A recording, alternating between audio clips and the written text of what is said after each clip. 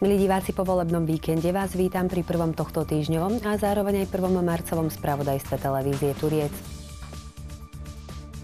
Vrútockí hokejbalisti v sobotu pokrstili nové ihrisko víťazstvom. Počas jarných prázdnin si mohli deti vypočuť aj zaujímavý príbeh o zvieratkách. Prezidentom Slovenskej nohejbalovej asociácie sa stal turčiansky zástupca Miroslav Kováč. Celé Slovensko žilo počas víkendu parlamentnými voľbami. S našou kamerou sme monitorovali ich priebeh vo volebných okrskoch v Martine v Rúdkach a zavítali sme aj do Turčianskej šťavničky. Parlamentné voľby 2020 prepísali politickú mapu Slovenska. Po 12 rokoch vládnutia politickej strany Smer sociálna demokracia triumfovalo po všetkých 8 samozprávnych krajoch hnutie obyčajní ľudia a nezávislé osobnosti. Do parlamentu sa dostali okrem Oľano a strany Smer aj politické subjekty Smer rodina, ľudová strana Naše Slovensko, Sloboda a Solidarita a politická strana za ľudí. Volebná účasť bola na Slovensku vysoká, dosiahla necelých 66 v okrese Martin bola 70 a v okrese Turčianske Teplice takmer 69 v Teplickom okrese sa zúčastnilo z 13 691 oprávnených voličov 9444. V okrese Martin z počtu 78 015 voličov odvolilo 54 666. K volebným urnám sa pristupovalo priebežne od otvorenia volebných miestností, v ktorých sa tvorili rady. Ja chodím pravidelne, ja si to berem za povinnosť a tak viem, že ten môj hlas môže niečo vplyvniť, ale tak chcem vyjadriť aj podporu tým, ktorým dôverujem a o ktorých si myslím, že dobre riadia náš štát. No ja som pravidelný volič, pretože určite mi záleží na chodu štátu a už som nespokojný 12 rokov. Takže chodím určite pravidelne a verím, že tieto voľby budú zlomové. Som pravidelnou voličkou, lebo potom nemôžem reptať. Takže e, volím. Chodím pravidelne. Minulé som nebol, teraz som po dlhom čase, no a asi to treba. Počas soboty sa voľby v Turcii niesli v pokojnej atmosfére. Okolo 16. hodiny sme navštívili okresnú volebnú komisiu. Priebeh volieb je bezproblémový a je prekvapujúco veľmi vysoká účasť v našom regióne Turčianských teplíc a Martinskom okrese. V Martinskom a Teplickom okrese pracovalo 139 okrskových volebných komisií.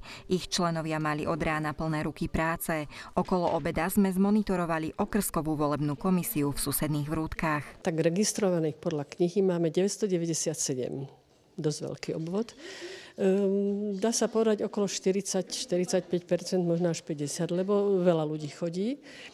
A hneď nám ohlásili, že čo sú na holiach e, bratislavčani s volebnými listkami, takže nám na záver okolo 7, že prídu asi 50 takže ešte budeme mať aj hostí. Tak ako na ostatných voľbách chodívajú skôr tí starší, tak teraz by som povedala aj taký, aj taký. Každému na tom veľmi záleží. Členovia okrskovej volebnej komisie sa nezastavili ani v obci Turčianska Štiavnička. S našou kamerou sme do volebnej miestnosti nahliadli okolo 15. hodiny. Máme kľudný priebeh, e, volebná účasť predstavuje asi nejakých 29%.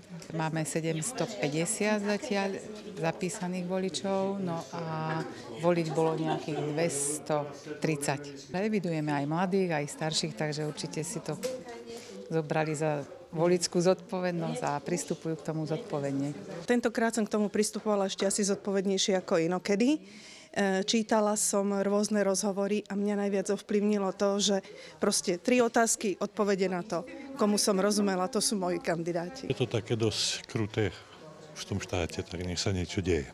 Chcem vyjadriť aj podporu tým, ktorým dôverujem a o ktorých si myslím, že dobre riadia náš štát. A aj keď sa však nič není dokonalé, ale mám dôveru aj v tom, že môj hlas nie je len tak ako daný. Myslím si, že je zvlášť potrebné prísť. Fakt to nie je právo každého, ale výsada. Takže by sme si to mali vážiť. Ono to nemusí byť samozrejmosť. Teším sa, že dneska nastane konečne zmena. Ráno sa dobudím do pozitívneho štátu. V Turci vyhralo voľby hnutie Oľ Áno s 25,34%. Druhou najsilnejšou politickou stranou sa stal Smer sociálna demokracia s 21,4%. Nasleduje Smer rodina s 9,21% a ľudová strana Naše Slovensko s 8,75%. Do parlamentu sa dostali politické strany Sloboda a Solidarita so 6,14% a za ľudí s 5,41%. V okrese Martin zvíťazilo hnutie hnutie Oľ Áno s 25,68%, druhý bol Smer sociálna demokracia s 20,54%, tretia nasledovala strana Borisa Kolára Smerodina s 9,14%, ľudová strana Naše Slovensko získala 8,46 a Sloboda a Solidarita 6,42 voličských hlasov. Strane za ľudí odovzdalo hlas v okrese Martin 5,65% voličov. V Teplickom okrese je na čele Smer sociálna demokracia s 26,39%, nasleduje ich hnutie Oľ Áno s 23,38%. Tretím najsilnejším politickým subjektom je ľudová strana Naše Slovensko s 10,41%. Sme rodina podporilo 9,59% voličov, parlamentné strany Sloboda a Solidarita a za ľudí získali v kúpeľnom meste pod 5%. Minulý útorok sa v priestoroch Denného centra pre seniorov konala členská výročná schôdza jednoty dôchodcov základnej organizácie číslo 2. Seniori jednak zhodnotili celý uplynulý rok a stanovili si mnoho cieľov na ten aktuálny, no ako je už v prípade našich aktívnych členov zvykom, všetko odštartovalo kultúrnym programom. Ako nás hneď na úvod informovala Gizela Ferencová, ale nakoniec, ako sme sa aj sami už na vlastné oči viackrát presvedčili, aj keby mal rok o 100 dní viac, seniory by aj tak mali čo robiť, lebo naozaj žijú mimoriadne aktívny život po každej stránke. Včera som to ako písala nejakú takú správu, veď viete, že ja to poviem viac menej z pamäti, ale to je toľko podujatí a toľko aktivít, že keď som si to tak napočítala, že bolo to 32 veľkých podujatí, 27, čo tu chodia na tie spoločenské hry za ten jeden rok. Okrem toho, čo im privítali sme pani prezidentku a všetko to, čo robí mesto, to divadelné predstavenia, na ktoré chodíme do Martina, do Košic, do Bratislavy, do Banskej Bystrice. Takže je toho úžasne veľa, čo my robíme. A keď som si to napočítala na členov, tak okolo 271 na tie spoločenské hry, lebo to tak stále pribúda. Prišli 4 a 5, už 21. A teraz zase na to vyše 1100. A keď vám poviem, že sme už urobili 16 senior balov a na tých sa zúčastnilo už vyše 3200 ľudí. Že vy nemáte absolútne čas na nudu? Nie, nie, nie, nenudím sa, naozaj sa nenudím. Členskej schôdze sa zúčastnil aj primátor mesta, riaditeľka kultúrnej scény a nechybala ani zástupkyňa mestskej polície. Tento poriadkový útvar totiž so seniormi tiež veľmi úzko spolupracuje. Program mali teda naozaj bohatý. Samozrejme, kultúrny program, ocenenia pre našich členov, takých najaktívnejších, pretože mnohí to už majú a tí, čo ešte nemajú, tak to urobíme dnes. A takisto dostaneme piatú foto knihu, ktorá vlastne všetku našu činnosť zobrazuje, či sú to veselé chvíle, ale aj smutné. Čo to znamená, pani Ferencová, najaktívnejší členovia? Tak čo to znamená? Tí, ktorí sú väčšinou vo výbore, ale my máme veľmi aktívnych aj nie členov výboru, čiže takí, ktorí ešte tieto ocenenia nemajú a teda sme si spomenuli aj na nich a jedna z nich bude takmer najstaršia naša členka. Udeluje vyznamenanie tretieho stupňa a to Marienka Bohdalová je tu. Marienočka, môže poď sem. Srdečne blahoželám. Všetko dobré.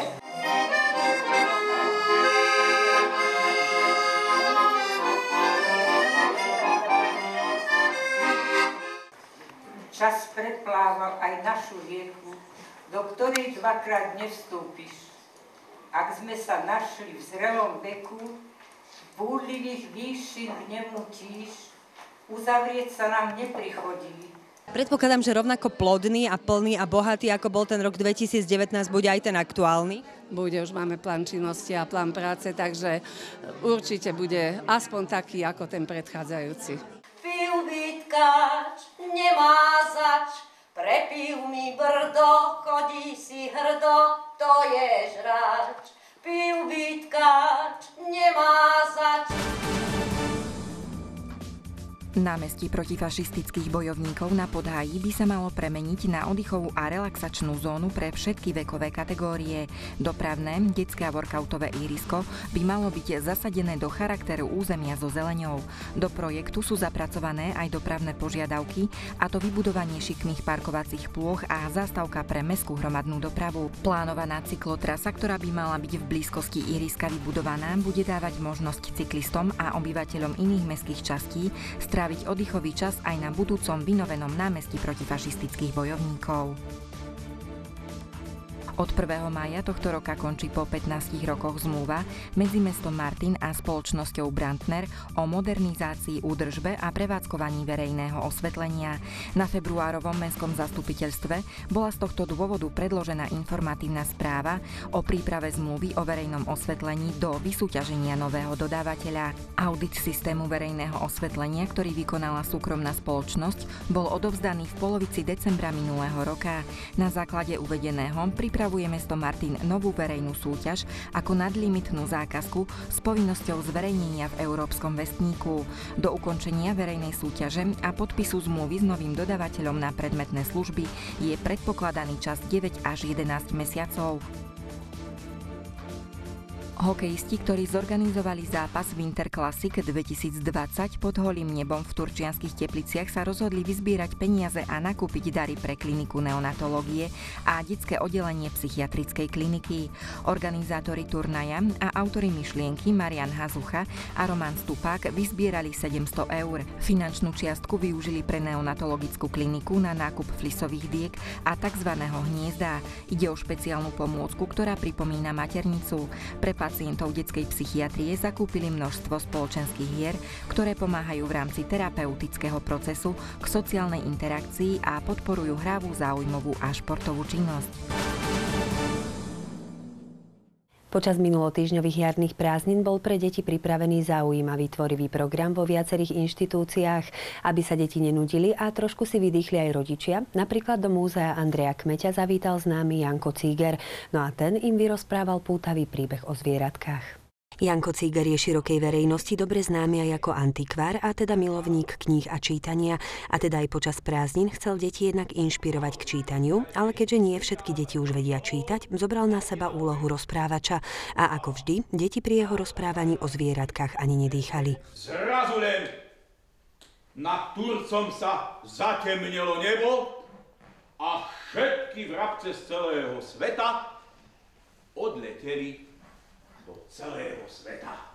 Janko Ciger je známy aj ako prvý profesor hraškológie a už dlhé roky dbá na to, aby aj dnešné deti poznali rozprávku o Jankovi Hraškovi a aby neupadla do zabudnutia a teda aj svoje rozprávanie o zvieratkách prepojil s touto postavičkou. Chlapček, sotva väčší ako hrášok, pekne zišiel potom konári dole do rásochy, zišiel aj dole tým kmeňom, zišiel pod slivku, prišiel až k tomu plnému košu a ako áno, ako nie, víťaz slávneho voľáko chytil a pomaličky, pomaličky ho dotiahol až do kuchyne, kde bola jeho prekvapená mamička. Chlapčeka sotva väčšieho ako hrášok, takto ho zdvihol hore a predniesol mu slávnu vetu. Z hrášku si sa zrodilo chlapča zlaté. Nuž nech ti je meno Janko Hraško. Ale rozprávali sme sa aj o tom, že budú vystupovať v príbehu zvieratka. Zapamätali ste si ich? No aké tam boli? Dinosaurus. Výborne. No vidíte, teraz ste mi pripomenuli, lebo ten príbeh ide ďalej. Vystupuje tam aj ďateľ, ale v budúcnosti.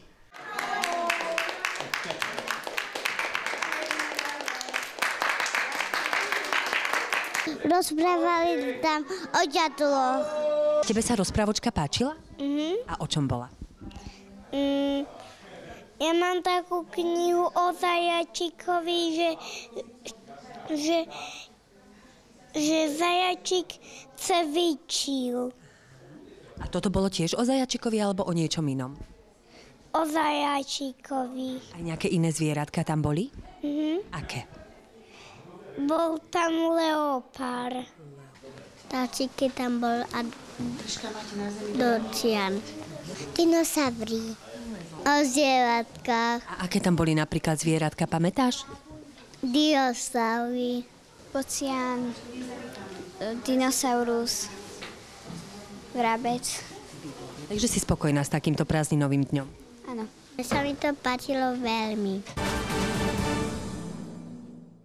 Už je to nejaký týždeň, čo bol za prezidenta Slovenskej nohejbalovej asociácie zvolený náš turčiansky zástupca Miroslav Kováč. Zaujímalo nás, aké ambície a ciele má tento zanietený nohejbalista. Veľa ľudí mu síce gratulovalo, no ako sám hovorí, ono ani veľmi nie je k čomu. Predsa len stáť na čele slovenského nohejbalu je síce česť, ale na druhej strane aj obrovský záväzok a zodpovednosť. Ja som si povedal na začiatku také tri hlavné body, ktoré chcem splniť. To znamená, že chcem do majstrovstiev sveta, ktoré budú v Prahe tohto roku 27. a 29. novembra, dosiahnuť čo najlepší výsledok to je prvé. Po druhé, potrebujem, eh, aby organizácia Nohebalu, ktorá je, eh, myslím si, že v Slovensku troška rozštiepená, pretože my, eh, naša organizácia je pod, Slovenská Nohebalová asociácia je pod UNIF a ešte tu máme druhú organizáciu, ktorá je síce o mnoho menšia, ale nohybal by mal spájať, ako šport by mal spájať, takže si myslím, že sme na dobrej ceste. A po tretie, mladí všetky finančné prostriedky alebo väčšinu finančných prostriedkov chceme venovať hlavne práci s mládežou, trénerov, výchove mladých a predovšetkým, aby sme začali znova od žiakov. Veľkým snom nového prezidenta Nohejbalovej asociácie je teda dostať nohejbal opäť na výslnie, presne tam, kde sa tento šport nachádzal v nie tak dávnej minulosti a v takmer každej kategórii zbieral tituly majstrov sveta. Predovšetkým je treba dať e, k tomu patričné dokumenty, spraviť smernice, spraviť uh, plány.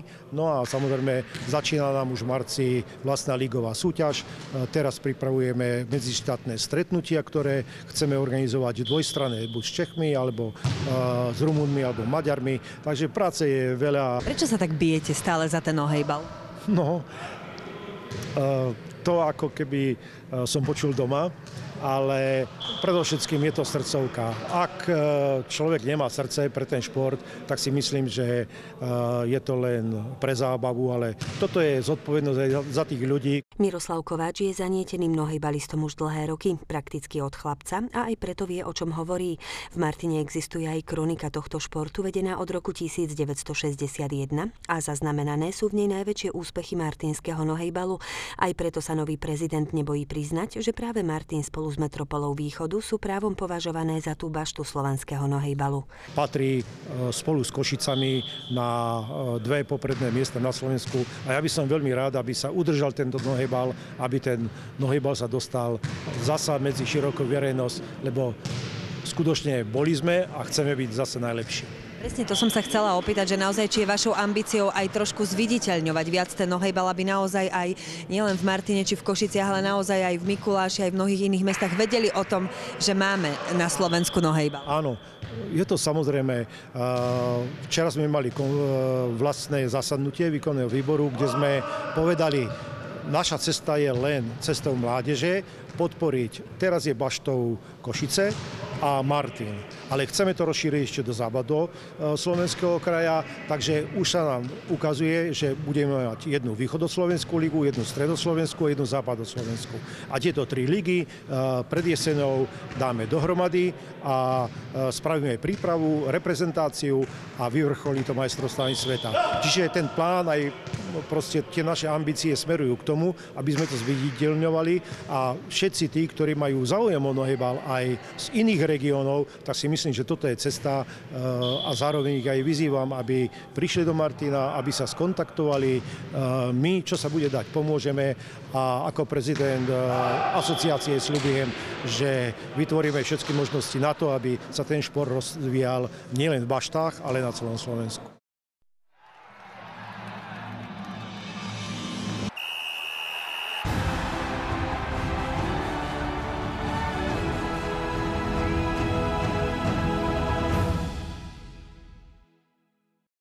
Hokejbalisti v Rútockej komety sa dočkali moderného ihriska s plastovým povrchom. Do prevádzky bolo slávnostne uvedené v sobotu, kedy zároveň štartovala aj jarná časť najvyššej hokejbalovej súťaže. Hokejbalové ihrisko Kometa v Rúdky sa počas niekoľkých mesiacov premenilo na moderné ihrisko s novými mantinelmi, skeletom a dokonca sa jeho rozmery predlžovali. Cesta k obnoveniu športoviska bola náročná a zdlhavá. Čakali sme, že to prebehne kratšie, vlastne tá rekonštrukcia bude kratšia a jednoducho Niektoré veci nám to skomplikovalo, robili sme si to sami, tu na hráči, majiteľia, čo je akože veľká rarita. Hokejbalisti ukázali to, čo sa už dnes len tak ľahko nevidí. Za zrekonštruovaným ihriskom, na ktorom sa tvrdo pracovalo od začiatku januára, je množstvo hodín dobrovoľníckej práce, spolupatričnosť, obetavosť a nasadenie vlastných síl do budovania spoločného diela. Do nového roka sme tu non-stop po práci boli, je to kvantum hodín, proste posledné dva týždne sme tu boli fakt, že do, vždy do večera do 8 aby sme to stihli, alebo sme to stihli, čo je úžasné a ja všetkým strašne ďakujem. Do rekonštrukcie boli investované nemalé finančné prostriedky z vlastných zdrojov hokejbalistov. Zároveň bola na obnovu ihriska vyhlásená verejná zbierka, do ktorej sa nezištne zapojili mnohí fanúšikovia, ale aj cudzí ľudia. Je to minimálne okolo 100 tisíc eur, takže je nový mantilový skelet kúpený zo Šešťarska, nový plastový povrch, ktorý stojí 24 tisíc eur, ktorý vlastne ešte nemáme úplne zaplatený zaplatený je na 80%, vyzbierali sme verejné zbierky 11 tisíc, tá bude ešte stále pokračovať, takže je to viac ako 100 tisíc eur. Počas otvorenia ihriska bola odhalená pamätná tabuľa na pamiatku Lukášovi Jesenskému, na ktorého hokejbalisti vždy spomínajú a nosia ho vo svojich srdciach ako výborného kamaráta a dobrého človeka. Lukáš bol zároveň všestranný a skvelý športovec. Stal sa viacnásobným medailistom niekoľkých európskych šampionátov v hokejbale, ale aj vo vodnom pole. Slávnostné buly prvého zápasu odohraného na novom ihrisku vhodil jeho otec Ivan Jesenský.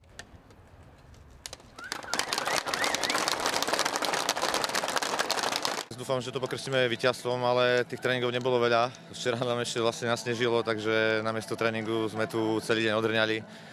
Takže sa s nami aj tá šťastie troška pohrala, ale veríme, že, že sa nakloní na našu stranu, keďže sme tu obetovali fakt všetko. No a vrútovským hokejbalistom bolo naklonené aj športové šťastie. Nové ihrisko im totiž prinieslo úspech. Po napínavom zápase nakoniec zdolali nitrianských rytierov 3-2. Po slávnostnom vhodení bul odštartoval prvý duel jarnej časti medzi Kometou Vrútky a hráčmi z Nitry. Hneď v úvode inkasoval dvojminútový trest domáci pastorek, avšak jeho vylúčenie pre vývoj zápasu nič dramatické neznamenalo.